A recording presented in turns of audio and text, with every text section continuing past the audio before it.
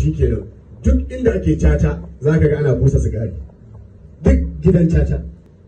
Mata suna zuƙawa maza ma suna zuƙawa haka gidajen caca yake. Haka gidajen giya. To sai shi tijani radiyallahu anhu saboda ƙarfin kashafi ittaqu firatatal mu'mini fa innahu yanzuru bi nurillahi. To shi tijani radiyallahu anhu yanzuru bi nurillahi. Sai ya hango sai ya ce to abin da za a yi tunda Allah tabaraka wa ta'ala ya ce la taqrabu salata wa antum sukara. Kuma ya ce inna ma yuridu shaytanu an yuqiya bainakum al-adawata wal baghdha bil khamr wal maisir. Kuma yana cewa wala taqrabu zina bai ce kar yi zina ba sai ce kar ku kusanci zina. Sai ce to almajiraina kada ku kusanci shan giya. Aka ce akram kallah maulana ta ya ake kusanta shan giya? Ce daga zuƙar sigari. Daga zuƙar sigari. Saboda ka almajirina kar ya zuƙi sigari. Balle wiwi balle giya. Balle koken.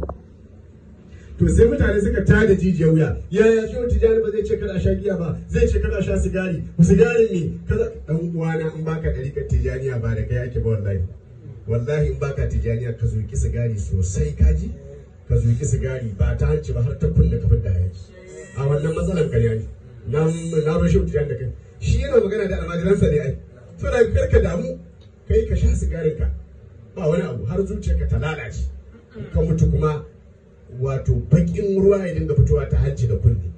Tun mai shan sigari in ya mutu zaka ga bakin ruwa ya bata da kafanin shi. Ta hanci ta kunne ta baki har ta gabansa. Za ka wani ruwa baki yana fitowa yana bata masa da kafaninsa wannan shine dalilin da yasa maulana shekha ahmad tijani sahibul qurbi wat tadani sakana allah min faidin madadihi bi azamil awani. Ya ce kana sha taba a cikin ɗariƙarsa saboda shi ne matakin farko a cikin zuke-zuke da shaye-shaye.